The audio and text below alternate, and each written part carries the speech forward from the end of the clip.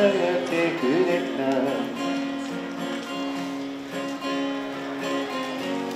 風のように尊い眩しすぎてえー、授業を終了した時に最初日本に帰ろうと思います。でも何の結果も残さずに日本に帰ることが嫌だったんですよ。悔しかったんです。なんとか台湾に残ろうと思いました。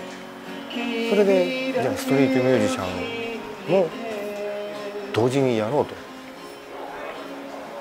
でただあの歌っているとですね、えーと、おじいちゃんおばあちゃんがよく聞いてくれます。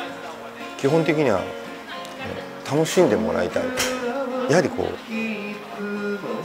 いろんなお金1元の人もいる1,000元の人もいるチップを入れてくれます。だからこちらは、えー、それに対するものを提供しなければならない。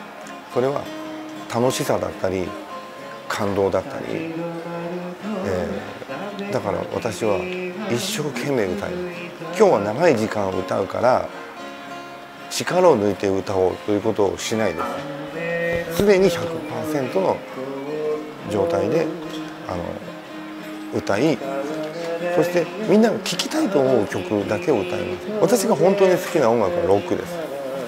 ハードロックです。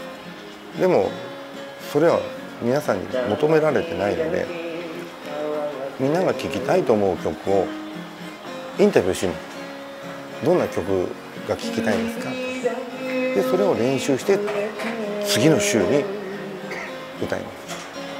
でみんなが楽しんでくれるので嬉しい。